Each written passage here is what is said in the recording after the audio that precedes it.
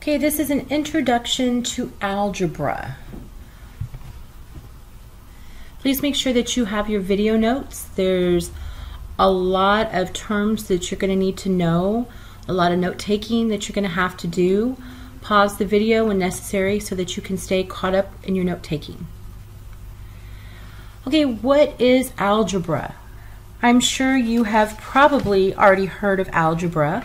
Maybe you have older siblings or family members that have taken algebra and have told you a little bit about it. Maybe you're scared of algebra. I think algebra is fun and I hope that you're going to find it fun as well. But before we can begin our unit, we need to go over some important terms and concepts. The first one, what exactly is algebra? Algebra is a mathematical language of letters, symbols, and rules that is used to find the unknown. That's all it is. It's just like regular arithmetic, except you still have the same operations addition, subtraction, multiplication, division. But this time we include an unknown value, something that you have to look for, you have to solve for. And we use letters to represent the unknown value. So a variable. A variable is a letter used to represent an unknown number. The value of the variable may change. Okay, so if you don't know what a number is, then you substitute a variable or a letter to represent that number in your algebraic expression or equation and it can be any letter. However, all of the other all of the letters have to be lowercase.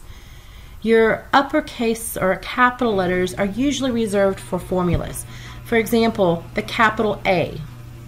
That it represents the formula for area. Capital V represents the formula for volume. Okay, so capital letters are mainly reserved to represent formulas. Lowercase letters are going to be reserved for your unknown. Those are your variables. And I need to talk to you a little bit about the variables that you use. The most common variable used in algebra is x. Well, if you were to see this x, what would you think it is? Would you automatically think of it as the variable x? Or would you think, oh, that's a multiplication symbol? A lot of you would say multiplication, right? Because we're so used to seeing x to represent multiplication. This is why when we use multiplication with algebra, we use the other symbols. We use the dot. We use the parentheses to represent multiplication. Okay, so be very careful with your x or with your multiplication. Start using the dot or the parentheses to represent multiplication. Another one is if you're writing really fast, what is that?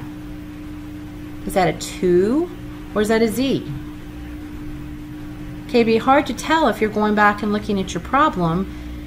That's why, and you probably have noticed this with me, whenever I write a Z, I put a line through it. Some letters could represent numbers. So you're going to have to start writing your letters in a way where you can tell them apart from another from a number. Um, another example would be this. If you're writing really fast, is that an S or is that a 5? So what I do when I make my S is I put a little curly Q like that. And I know that it's an S and not a 5. Another one is this. Is that a plus sign or is that a T? Well, you could write your T like that. So there are different ways that you can write your letters so that they don't look like a rushed number. So be very careful when you're writing your variables. Okay, a constant. A constant is a specific number whose value does not change. Okay, with our variables such as a, y, x, b, n, etc., they can stand for any number in that expression but a constant does not change. Basically, a constant is just a number, 5. Can Does the value of change 5? If I were to write 5, would it equal really 10?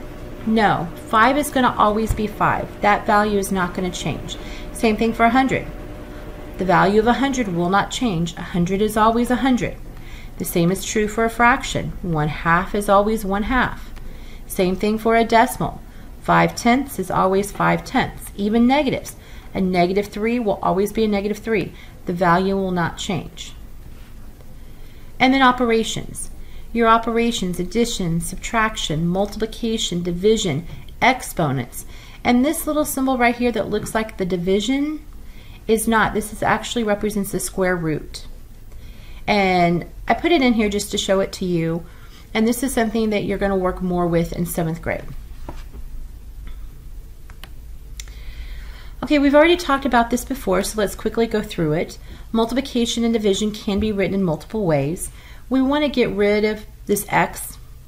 It's okay if you have two numbers like 7 times 4 to use the x in between it, but if you have a variable or two variables, let's not use the x. Instead, use the dot, or you can write it next to each other. If you have a number next to a letter or two letters next to each other, that means multiplication. You could write one of the numbers or letters in parentheses or both of them in parentheses. Because when you have a number or letter touching parentheses with no symbol, no operation symbol shown, that means multiplication. The division, a lot of times you're still going to see the regular division symbol. Sometimes you'll see a, a backslash, but most of the time you're going to start seeing the fraction bar. The fraction being used to represent division. So anytime you see something in fraction format, always think of this fraction bar as meaning division.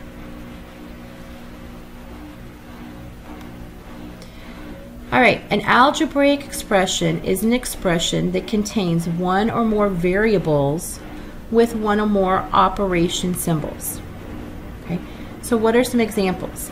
Right here, make sure you write this down. 150 plus y. Okay, the 150 is your constant. Okay, it's the number that does not change. The value does not change. Y is the variable.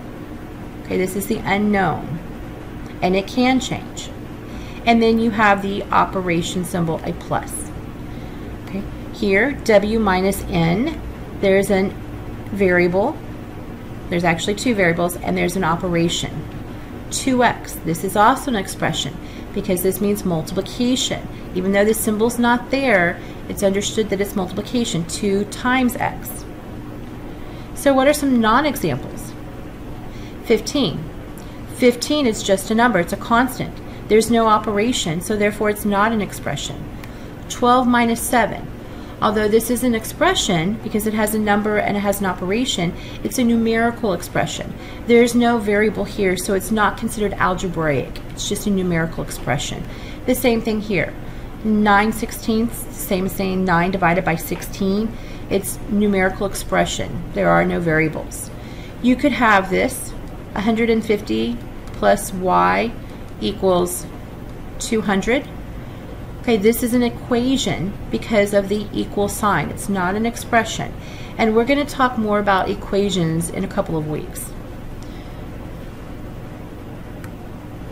So let's take a closer look at the parts of an algebraic expression. Okay, these are very important to know. We're going to be using them. And as a mathematician, when you're talking about expressions, you need to be able to, to use the correct terminology for the different parts. So terms. Terms are the parts of an expression that are separated by plus or minus signs. So if we go through, let's highlight these. This is a plus sign, this is a plus sign, plus sign, and plus. And they could be subtraction signs. These just happen to be all plus signs. So terms are what's in between them. 12 is a term. What kind of term is 12? It's a constant. 3y is a term. 4x is a term. This is saying there's three y's. This is saying there's four x's. 2y is a term. And here's another constant, 4. So how many terms does this expression have? It has one, two, three, four, five terms. Okay, coefficients. Coefficients are the numbers that are multiplied by at least one variable. Coefficients basically tell you how many of the variables you have. So they only go with vari variables. This 12 is a constant, it's not a variable. But this 3y, this is a variable. The 3 is the coefficient. It's the number that tells you how many y's you have. You have 3 y's. Okay, 4x. Okay, the coefficient would be the 4. The 4 says, hey, there are 4 x's. In the 2y, the coefficient would be the 2. It tells you how many y's there are. There are two y's. 4, there's no coefficient to 4. 4 is the number, yes, but it's not attached to a variable. So the coefficients are multiplied by the variables. They're attached to the variable. And they tell you how many of that variable you have. You have 3 y's, you have 4 x's, you have 2 y's. Those are coefficients. And the last term you need to know are like terms. Like terms are the terms with the same variable or variables raised to the same power. Okay, so if I go through here, I have a y. Okay, so I'm going to highlight this term. Do you see any other terms with a y? Yes, right here, 2y. These are like terms. And if you have a like term, you can combine them. You can add them together. If I have three y's, I can add that to two y's. And how many total y's would I get? Five. You add their coefficients, the 3 plus the 2. 3 y's and 2 y's give you 5 y's. Okay, we have the term of 4 x's, but are there any other x's? No. Okay, so there is no like term. Another, technically like terms have to have the same variable, but we also really consider constants to be like terms. 12 and 4, 12 and a positive 4, because you can combine them. Okay, all constants you can combine. 12 plus 4 would give you the 16. So you could actually simplify this expression by combining your like terms. If I combine my constants, I'm going to get 16 plus combine my y terms, the 3y's and the 2y's, 5y. And then there's nothing to combine with the 4x, so it stays a 4x. So we simplified this expression. We went from 1, 2, 3, 4, 5 terms to how many terms? To the 16, the 5y, and the 4x, to three terms. So if you have like terms, you can combine them together. But remember, for them to be like terms, they have to have the same variable. Constants are also considered like terms. You can combine the constants together. And that's it. You're ready for part two.